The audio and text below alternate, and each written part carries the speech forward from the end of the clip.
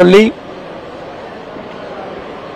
கோவை மாநகர மக்களை பயமுறுத்துகிற ஒரு வேலையை செய்திருக்கிறார்கள் என்பதை அவர்களே புரிந்து கொண்டதனால்தான் இப்போது அமைதியாக இருக்கிறார்கள். முதலமைச்சரை பொறுத்தவரை உடனடியாக உயரதிகாரிகளுடைய கூட்டத்தை போட்டு புதிதாக மூன்று காவல் நிலையங்களையும் அறிவித்து அதிகப்படியான காவல் அதிகாரிகளை பாதுகாப்புக்கு போட்டு மக்களுக்கு ஒரு பயமில்லாத ஒரு நம்பிக்கையை உருவாக்கி ஒரு இயல்பு வாழ்க்கையை கோவைக்கு மீட்டெடுத்திருக்கிறார். அப்படி பார்க்கும் பொழுது அரசு தரப்பிலே தாமதமோ கவனக்குறைவோ இருப்பதாக சொல்லிவிட முடியாது. அது பாரதிய ஜனதா கட்சியினுடைய தமிழக தலைவரை பொறுத்தவரை இதை போன்று பல விஷயங்களிலே அவசரப்பட்டு அரசியலுக்காக எதையாவது சொல்லிவிட்டு பிறகு அமைதி காப்பது வாடிக்கையாக இருக்கிறது. இதில் பத்திரிகையாளர்களை நோக்கி அவதூறான வார்த்தைகளை சொல்லதும் கூட தவறு என்பது எல்லோருக்குமே தெரியும். அதை நேரடியாக நான் அந்த நேரத்திலே அவசரமாக தவறாக செய்துவிட்டேன். மன்னித்துக் கொள்ளுங்கள் என்று ஒரே வார்த்தையிலே பத்திரிகையாளரிடத்திலே கேட்டுவிடலாம் நான் படித்த தமிழிலே இப்படி இல்லை என்று ஏதோ பூசி மொழிகின்ற மாதிரி பேசியிருக்கின்றார். அவரும் தமிழகத்திலே தான் தமிழ் படித்தார். கர்நாடகாவிலே தமிழ் படித்தாரா என்ன?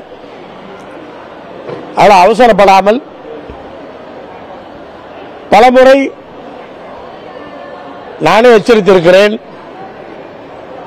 அவசரப்பட்டு வார்த்தைகளை விட வேண்டாம். இன்னும் வயது இருக்கிறது. நிறைய அரசியல் பாக்கி இருக்கிறது. அதை பெருந்தன்மையோடு செய்ய வேண்டும் என்று பலமுறை சொல்லியிருக்கின்றோம். மறுபடியும் இது போன்ற ஒரு நிகழ்வு இப்படி ஒரு தவறு நடக்காமல் இருக்க வேண்டும். அரசாங்கத்திற்கும் தேசிய புலனாய்வு முகமைக்கும் நாம் இந்த நேரத்திலே கேட்டுக்கொள்வது தமிழக காவல்துறையும் தேசிய புலனாய்வு முகமையும் இந்த வாய்ப்பை பயன்படுத்தி முழுமையாக இந்த நெட்வொர்க் அனைத்தையும் வேற இருக்க வேண்டும்.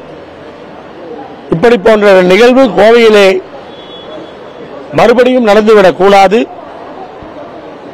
அதில் தீவிரமான நடவடிக்கைகளை மேற்கொள்ள வேண்டும் என்பதுதான் நம்முடைய கோரிக்கையாக இருக்கிறது. ஆளுநர் ரவி இந்த சம்பவத்தை பொறுத்த வரைக்கும் ரொம்ப தாமதப்படுத்தி கொடுத்திருக்காங்க அப்படின்னு பார்த்துருக்கீங்க? அப்படி ஒரு வாய்ப்பே கிடையாது. இத்தனை அரசியல் தலைவர்கள் இருக்கிறார்கள். அரசுக்கு எதிராக கருத்து கூறுகிறவர்கள் இருக்கிறார்கள். காவல்துறை தாமதமாக நடவடிக்கை எடுத்தது என்று எங்கும் கிடையாது. ஏதோ அவர்கள் இன்றைக்கு பழைய காலம் போல அல்ல.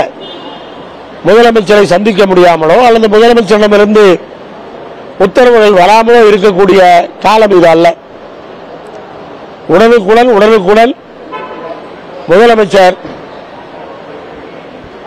நிகழ்ச்சி இது மாதிரி நிகழ்வுகள் நடக்கும் பொழுது தேவையான நடவடிக்கைகளை தாமதம் இல்லாமல் எடுக்க சொல்லி அறிவுறுத்திக் கொண்டிருக்கிறார். அதையும் செய்து கொண்டிருக்கிறார்கள். ஆளுநரை பொறுத்தவரை காவல்துறையை பாராட்டி இருக்கிறார். ஒரு பக்கம் பாராட்டி இருக்கிறார். சிறப்பாக செயல்பட்டிருக்கிறார்கள் என்று. அப்புறம் தாமதத்துக்கான பேச்சு எங்கிருந்து வருகிறது? அதே சிறுபான்மை இந்த சம்பவத்தில் சிறுபான்மையரை ஒடுக்கும் விதமாக பல்வேறு பாதிப்புகளை அவங்க இது பண்ணியிருக்காங்க இருசக்கர வாகனங்களை வந்து அப்புறப்படுத்திட்டு இருக்காங்க. இதனால் அவங்களுக்கு ரொம்ப இது யாராக இருந்தாலும் நடவடிக்கைகள் தீவிரமாக இருக்க வேண்டும் என்பதிலே யாருக்குமே மாற்று கருத்து கிடையாது. இதில் பிரித்து பார்க்க வேண்டிய அவசியம் கிடையாது.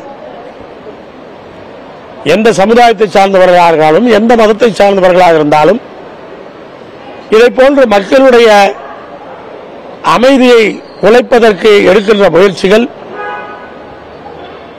தவிடுபொடியாக்கப்பட வேண்டும். இதில் யார் என்ன என்று வித்தியாசம் பார்க்க வேண்டிய அவசியம் கிடையாது.